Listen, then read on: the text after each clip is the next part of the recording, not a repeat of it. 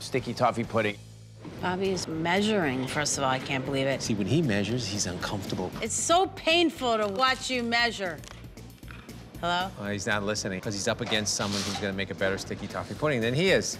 This is something I could pull off, but I don't make it very often. My pastry chef, Clarissa, makes it, and she makes a damn good one. It's basically a date cake with a ginger caramel and a candy ginger and pecan crunch. I'm starting with hot water, bourbon, and some English breakfast tea bags. That's gonna be the date paste that I'm going to weave into the cake batter. He's measuring bourbon. You going to go in there? Go in there. All right, 38 minutes and 38 seconds. Are you okay?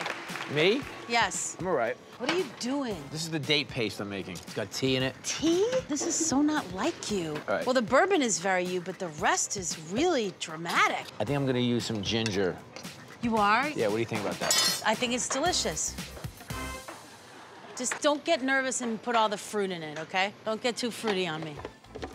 I'm just adding the flour and dates alternating so that it gets distributed evenly. And then I put the cake in the oven. Bobby, how you doing over there with your ginger? Good. Yeah, I wouldn't put ginger in this cake. It overwhelms everything. I want to taste dates. I want to taste brown sugar. Absolutely. Go in. I will. I'm gonna make a ginger caramel because it has a spicy sweetness to it. I have heavy cream, butter, muscovado, sugar, like dark sugar. I'm gonna let the ginger just steep in there and pick up some of the flavor.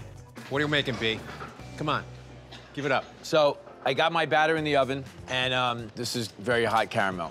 I got fresh ginger in there. You're in love with ginger. What happened? I just want the ginger to cut the sweetness of the caramel. That's good. How's that sound? All right. I hate that sound because now I have to look. You got to do it. You got to rip the Band-Aid off. Let's see these things. Are you unmolding them? Yeah.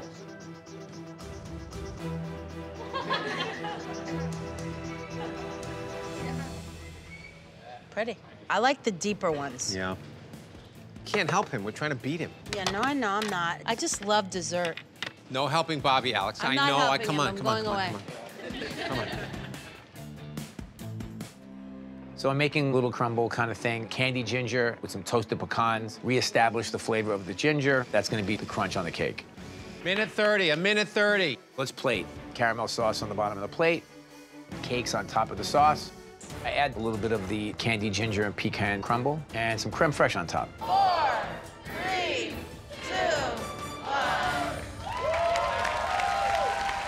My feeling is whenever I have to bake, if I get it done in some semblance of what I think I wanted to do from the beginning, victory.